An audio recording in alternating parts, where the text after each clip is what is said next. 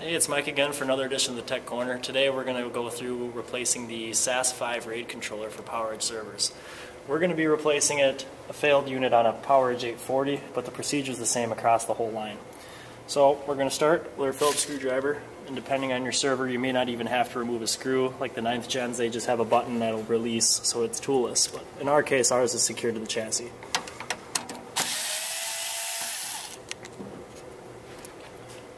We're not going to take any of the cables off the drives. We're going to leave them as they are. The only cable we're going to remove is from the SAS controller itself, which has two blue tabs on the side. They're going to pinch and lift straight off the card. Set that off to the side. The card itself lifts straight out. Now we're going to put our nice replacement SAS5 controller in. It's going to put in the same socket that it was originally. Straight down. We're going to re-secure it with the screw. Now we're going to hook up our SAS cable. Push that straight down, it clicks. And now we're going to turn on the server. And this is the part that's a little tricky.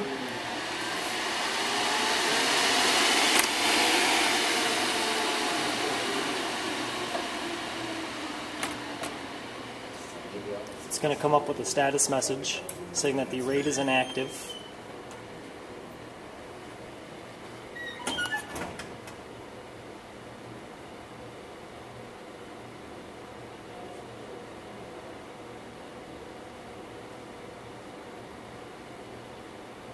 Right here.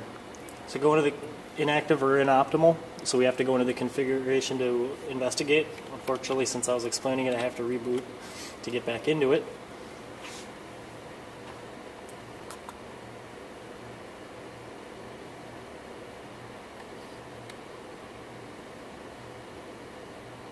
Now to get into the firmware for the controller, it's Control C on the keyboard when the initialization button comes up. It takes a little bit to think.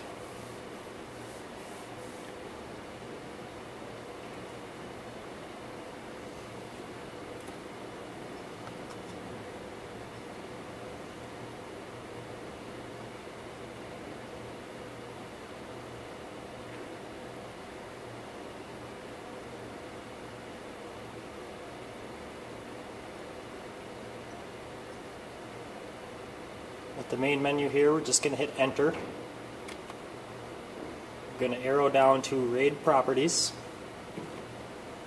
Manage virtual disk, we're going to hit enter again. We also see that our RAID is currently inactive. So we're going to arrow down to activate array. Hit Y.